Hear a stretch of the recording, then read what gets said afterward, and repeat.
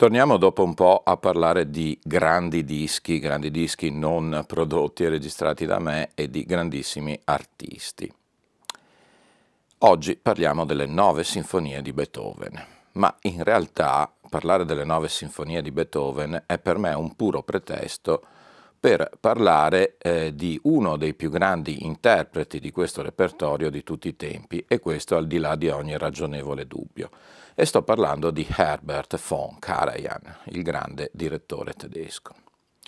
Quindi prima di affrontare il tema delle nove sinfonie, in particolare delle sue nove sinfonie,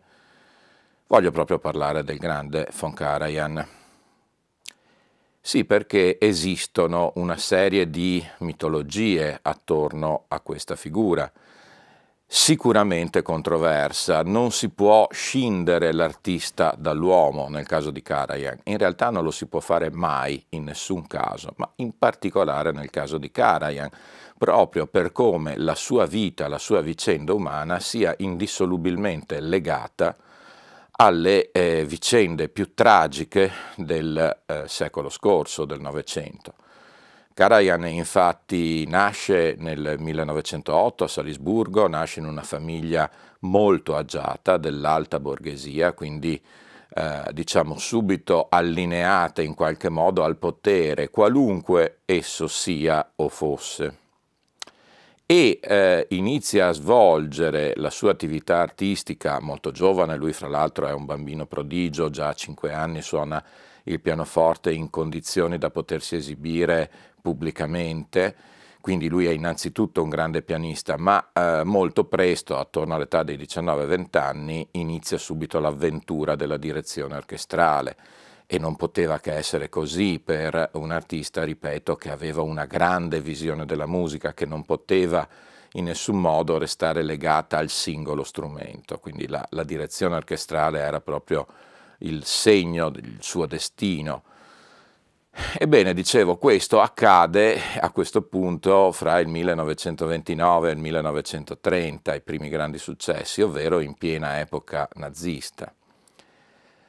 Eh, saltiamo subito al, al, dunque, al nocciolo della questione, perché le note biografiche di Karajan sono molto complesse, vista la mole enorme di opere che lui ha diretto, ha concepito, ha rivisto, ha stravolto, i concerti. Basta andare su, sulla classica enciclopedia universale online per ricavare tutte queste semplici nozioni. Io voglio concentrarmi invece su alcuni aspetti. Come dicevo, partendo subito dall'uomo, partendo da questa grande polemica che eh, lo vede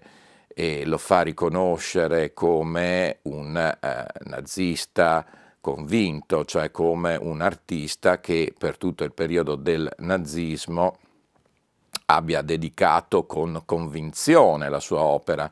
al partito nazista e a quelle eh, terribili ideologie che hanno stravolto e devastato l'umanità a metà del secolo scorso. Ebbene, non è esattamente così, anche se senza dubbio, come vedremo fra un attimo, eh, Karajan non è scevro da colpe a riguardo. In particolare eh, gli storici mettono sempre a confronto e creano questo dualismo che a tutti gli effetti c'era fra l'altro grande direttore, più anziano di una generazione rispetto a lui, che ha segnato quegli anni, direttore ancora una volta tedesco, che era Wilhelm Furtwängler. Queste due personalità in qualche modo si scontrarono, eh, furono veramente contrapposte non solo dalle, così, dal pubblico, dalla critica di allora e anche soprattutto successivamente a quel periodo in proiezione storica, ma proprio fra loro non correva assolutamente nessuna simpatia. E allora andiamo a cercare di capire veramente come stavano le cose. Ora, senza dubbio, eh, Furtwängler è noto per essere stato un direttore che non ha mai preso la tessera del partito nazista e di questo bisogna dargliene atto al di là di ogni ragionevole dubbio. E allora voi dite com'è possibile che eh, all'interno di questo feroce, dannato, criminale regime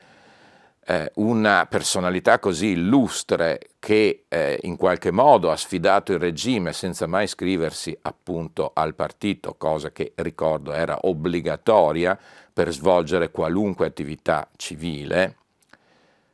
e sottolineo come per svolgere qualunque attività civile, umana, per essere considerati esseri viventi durante il nazismo era necessario esibire una tessera. Ebbene, dicevo, nonostante non avesse avuto questa tessera, la sua grandezza, la sua statura d'artista ne fece innamorare lo stesso Adolf Hitler, anche perché bisogna riconoscere che questi dannati bastardi dei nazisti avevano un grande gusto per l'arte, fosse essa l'arte figurativa, i quadri, ne avevano così tanto gusto che fecero razzie ovunque andassero di tutti i più grandi capolavori, di tutte le più grandi opere d'arte in cui si imbattevano. E si narra che lo stesso Hitler, nel suo buon ritiro sulle Alpi austriache, avesse una delle più formidabili pinacoteche eh, concepibili. Quindi anche per la musica avevano un gusto spiccato, sapevano riconoscere la grande arte musicale, in particolare proprio Adolf Hitler. E questo è il motivo per cui Furtwängler fu sempre considerato in qualche modo un artista di punta.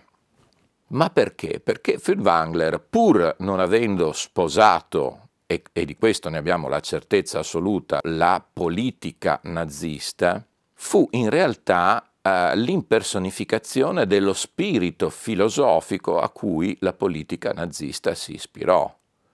Cerco di spiegarmi, la sua visione musicale era molto molto modellata, anzi lui ne fu quasi il sacerdote, sulle grandi filosofie nordiche, le sue interpretazioni wagneriane ma anche beethoveniane rimarcavano quello spirito che era alla base poi della deviazione che la politica nazista volle imporre a quello spirito. Eh, po- possiamo citare non a caso come base filosofica lo stesso Nietzsche. Quindi delle basi filosofiche in sé per sé astratte che poi i nazisti piegarono ai loro scopi e alle loro necessità. Ebbene, Furtwängler fu un artista con una personalità e che seppe dare un taglio abbastanza univoco a tutta la sua opera in questa direzione. Cito, per quanto riguarda ad esempio il suono delle orchestre tedesche, come il fatto che le orchestre di Furtwängler per prime eh, usassero l'accordatura a 4,45, ovvero un'accordatura molto tesa, molto in alto, molto spigolosa, volta a rimarcare, rimarcare il, il, taglio spigoloso della cultura nordica, della cultura tedesca, una sorta di aggressività del suono proposto con questo tipo di accordatura decisamente anomala e decisamente lontana dal più classico 440 o addirittura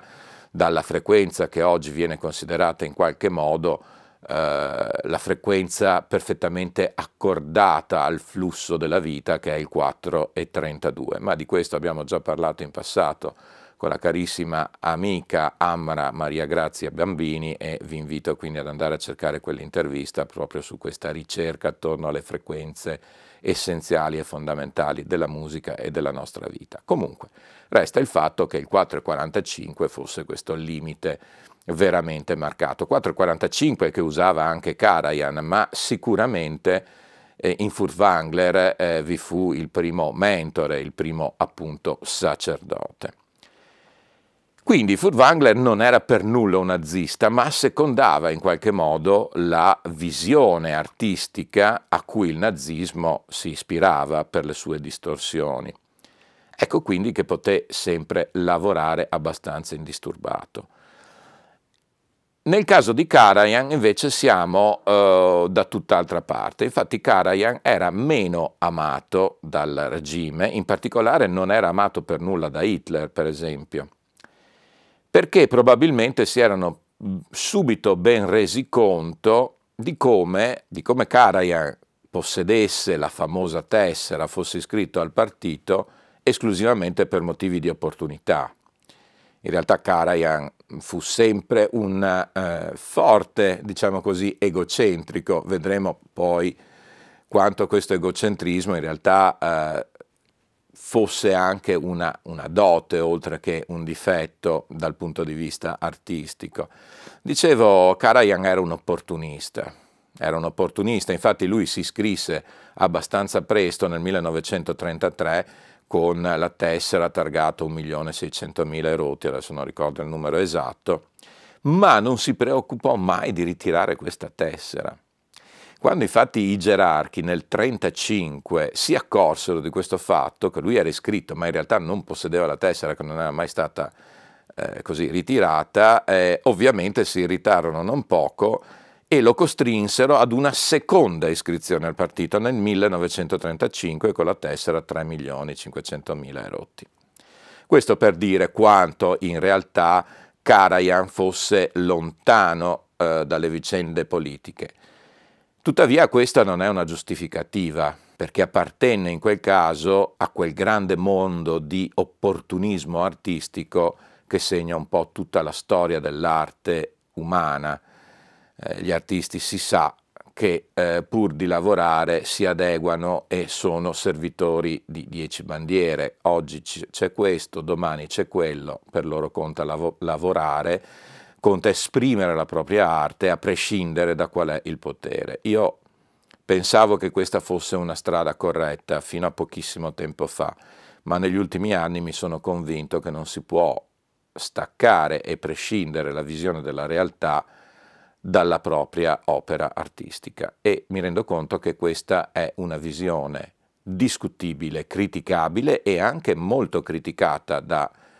una parte anche importante dei cosiddetti maître à penser e anche degli appassionati. Eh, ho sempre pensato che l'arte dovesse prescindere dall'uomo e la storia ci insegna di artisti giganteschi, pensiamo a Caravaggio, che in realtà nella vita erano degli esseri immondi e, disgustosi, ma che però partorirono delle opere d'arte oggettivamente assolutamente supreme. Quindi questa è sicuramente una considerazione da fare, però ripeto, eh, forse anche in funzione delle differenti epoche in cui ci si trova a vivere, ci sono dei momenti in cui è importante che anche l'artista in qualche modo prenda delle posizioni, delle posizioni importanti, delle posizioni marcate. Ecco, non fu il caso di Karajan. Per quanto riguarda il dualismo fra Karajan e Furtwängler, lo era anche nella sostanza dei fatti, cioè nella sostanza artistica. Furtwängler, sia per il fatto che Karajan eh, fosse iscritto, avesse la tessera del partito, sia proprio per la sua visione musicale che adesso andremo ad analizzare, lo detestava. Eh, si narra che eh, Furtwängler quando si rivolgeva e eh, parlava di Karajan lo chiamasse il piccolo K, proprio al, all'insegna del massimo disprezzo.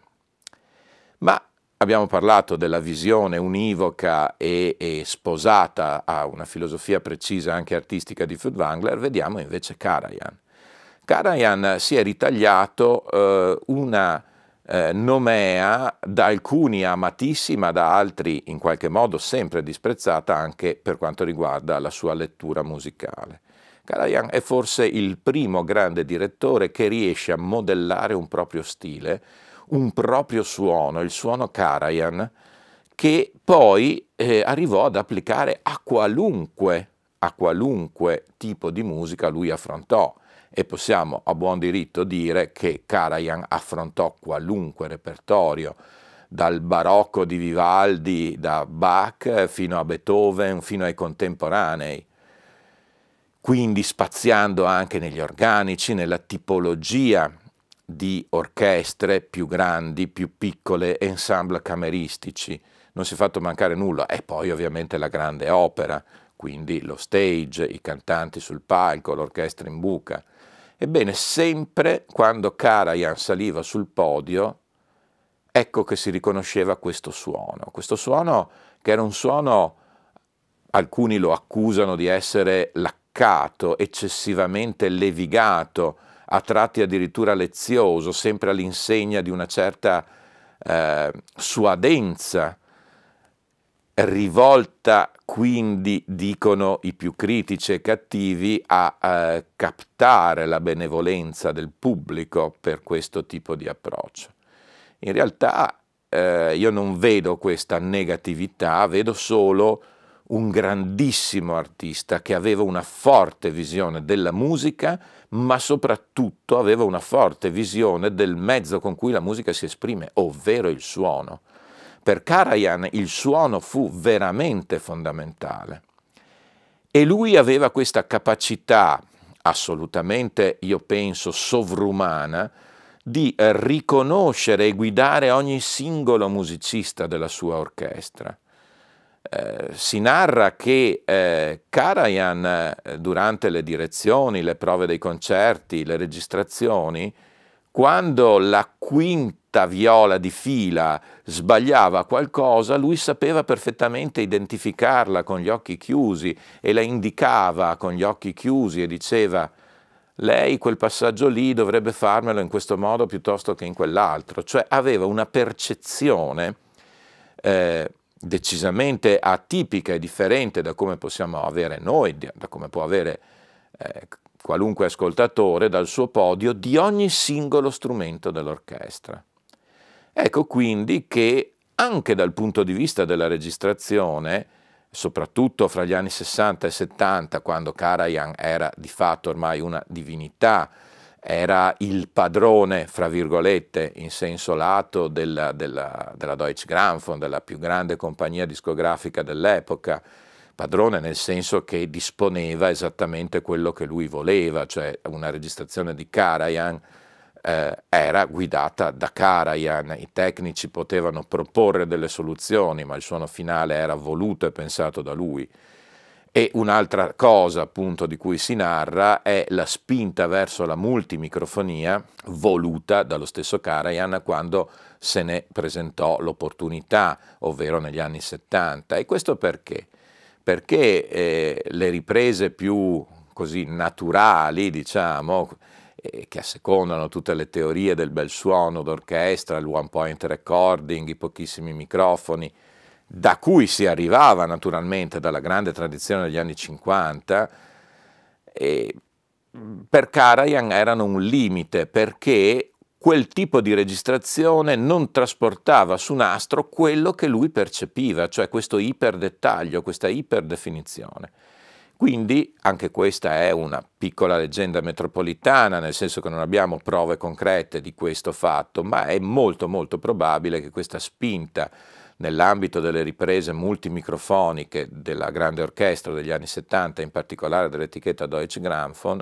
fossero proprio in qualche modo volute da Karajan che voleva andare a sentire le singole sezioni, i singoli leggi addirittura no, dell'orchestra con grande precisione anche nella riproduzione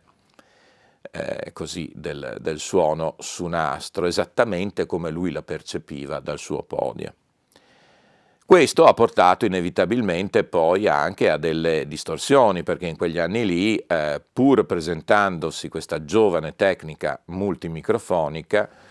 in realtà eh, si riusciva a fare bene le riprese, ma eh, poi c'erano grosse difficoltà appunto nel missaggio, missaggio che ancora una volta, soprattutto nei dischi di Karajan, era eh, così pensato e voluto a sua immagine e somiglianza. Da qui la nomea e eh, così la cattiva reputazione delle registrazioni Deutsch di quegli anni, che in realtà erano eccellenti registrazioni, ma probabilmente mixate e masterizzate in modo non opportuno. Uh, in realtà anche questo è in parte vero perché se è vero che i vinili di quegli anni suonavano effettivamente malissimo, ma suonavano malissimo per questo grande equivoco di cui abbiamo già parlato in altre occasioni di una eh, equalizzazione in riproduzione dai sistemi dei giradischi domestici non adatta e non adeguata al tipo di equalizzazione impostata dai tecnici. E anche questo è la nota asterisco che vi rimanda ai video in cui parliamo delle differenti equalizzazioni dei vinili. Come vedete sto buttando un sacco di carne al fuoco su questo video, eh, a cui penso fra l'altro da due mesi e essendo estremamente complesso ho detto ma eh, fatemi capire bene il taglio da dare e come vedete pur cercando di sintetizzare eh, alla fine parlando di questi temi e parlando di questo grande artista si finisce per sforare nell'ambito della politica, della filosofia, della tecnica del suono. Tutto questo fatto, cioè questa eh, così diramazione e divagazione, evidentemente in questo caso voluta e non casuale, è per accrescere e sottolineare l'importanza di Karajan nella storia tout court del Novecento, quindi non solo nella storia artistica. Lui pu- poi fu anche un uomo eh, amante della vita, cioè nella sua vita privata, ad esempio, Karajan è noto per essere stato un grande amante di automobili, grazie anche alla indubbia e quasi incalcolabile ricchezza che seppe accumulare, eh, lui fu proprietario di una collezione di auto sportive assolutamente fenomenale, sensazionale, ma fu anche, ma fu anche un grande talent scout, cioè alcuni dei più grandi artisti che oggi si possono considerare massimi interpreti mondiali nascono sotto la sua ala protettrice.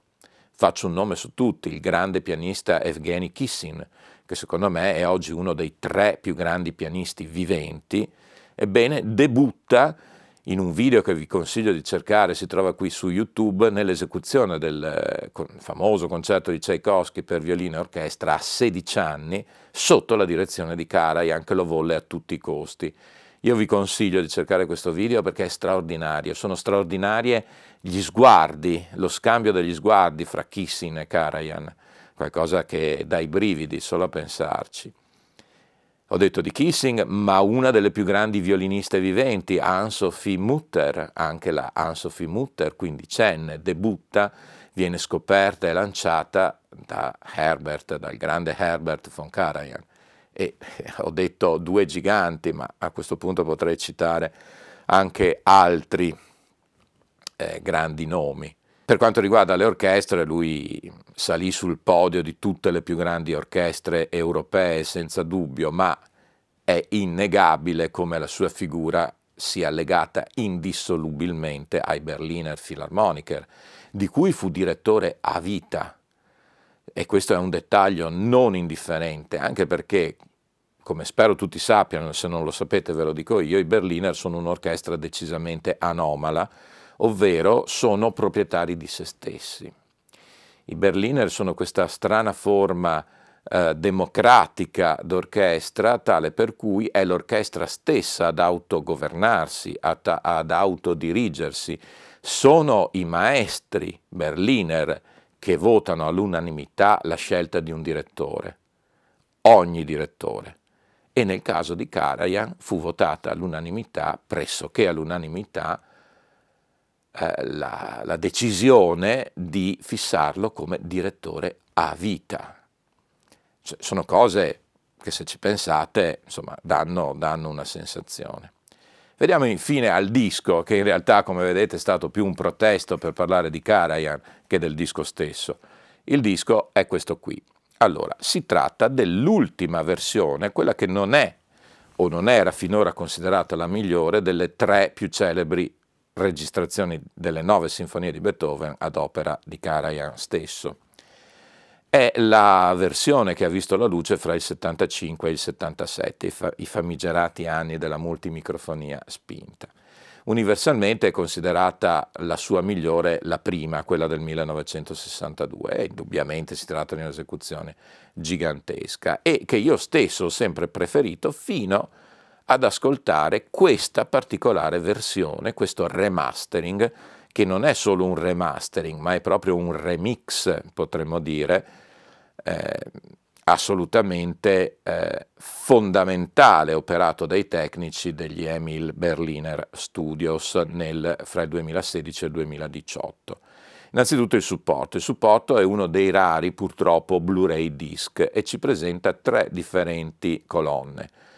Eh, uno stereo e un multicanale PCM lineari non compressi a 24 bit 192 kHz e una colonna addirittura mixata in Dolby Atmos alla frequenza di 24 bit e 48 kHz. Mi concentrerò sulle due versioni PCM lineari per parlare del suono, ma il suono in questo caso è assolutamente legato a doppio filo con la lettura musicale. Sì, perché per la prima volta, grazie alla tecnologia digitale, partendo dai nastri multitraccia originali, è stato fatto un missaggio che ha riposizionato i molti microfoni utilizzati secondo le regole della fase acustica, dando quindi una nuova freschezza e dignità al suono e riportando probabilmente il suono veramente come lo sentiva Karajan, quindi con il dettaglio che sentiva Karajan, ma anche con tutta l'ambiezza, la, profondità e di conseguenza la incredibile morbidezza del suono in particolare degli archi. Gli archi di Karajan qui vengono esaltati, si capisce fino in fondo la potenza, la forza e al tempo stesso la morbidezza, la grandissima dinamica. Cioè qui siamo davanti veramente a una registrazione suprema, una registrazione imprescindibile di grande orchestra. Forse in termini assoluti magari inferiore a quello che si può ottenere oggi partendo da una registrazione nativa ad altissima risoluzione e con tutte le competenze e le conoscenze di oggi, però il grande valore aggiunto, come si dice, e che valore è proprio nel suono, nella lettura musicale del grande maestro tedesco. Ecco, è un disco che io consiglio assolutamente. In particolare vi consiglio di andare a sentire la quarta e l'ottava sinfonia, quindi uscendo dalle celeberrime terza, quinta, nona, e proprio per andare a scavare dei dettagli che magari in altre pure eccelse interpretazioni vengono visti in modo differente. L'ultima curiosità che mi viene da raccontare sul nostro Karajan è appunto il suo apporto al mondo tecnologico e in questo caso mi viene da dire addirittura forse negativo, vedete che sto sorridendo, ma una leggenda metropolitana narra di come il suo parere di lui che era ormai verso la fine della sua carriera e anche della sua vita purtroppo, fu determinante nell'impostazione dello standard del compact disc. Sì, perché eh, originariamente sempre si narra, non abbiamo prove di questo, ma insomma importanti indizi e informali commenti degli addetti ai lavori, si narra come nel momento in cui si stava per lanciare il compact disc, lo standard pensato fosse di una durata di 60 minuti e utilizzando i 16 bit ma i 48 kHz. Ebbene questa secondo me sarebbe stata in assoluto probabilmente la scelta migliore, una scelta che avrebbe consentito successivamente di eh, da subito avere un approccio di suono molto più interessante perché la differenza fra 44 e 100 e 48 kHz è veramente esiziale, credetemi, chi l'ha potuta sperimentare ad esempio nell'uso del DAT sa bene di cosa sto parlando, quindi quella probabilmente era sicuramente la scelta tecnica migliore, però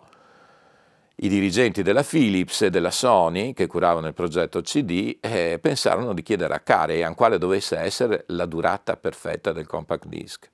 E lui rispose quanto la durata dell'esecuzione della mia nona sinfonia di Beethoven, che era collocata a seconda dei giorni attorno ai 72-72 minuti e mezzo di durata totale. Ed ecco che nacque la famosa durata di 74 minuti che però implicò per la tecnologia all'epoca disponibile la riduzione della frequenza di campionamento da 48 kHz a 4400. E questa è la leggenda, leggenda che credo non sia troppo lontana dalla verità. Insomma, come vedete non ho parlato molto di Beethoven, anche perché Forse quello che ho detto di Karajan può avere un interesse, quello che posso dire io di Beethoven andrebbe a sommarsi a un elenco infinito di critici molto più autorevoli di me che hanno già sviscerato a 360 gradi, credo che sia veramente difficile dire di più o soprattutto qualcosa di differente a proposito di questo sommo capolavoro assoluto della storia della musica. Quindi, ancora una volta, vi rimando allo studio dei grandi critici che hanno parlato di Beethoven e delle sue none sinfonie, senza che io aggiunga parole tutto sommato inutili e superflue su questo tema. Bene, eh, la mia idea oggi era di parlare anche di un altro disco, ma siamo già a mezz'ora di chiacchiere e quindi assolutamente eh, rimandiamo l'analisi la, dell'altro disco a cui avevo pensato e non vi anticipo, lasciandovi la curiosità di scoprire prossimamente di cosa si tratta, appunto ad un'altra puntata.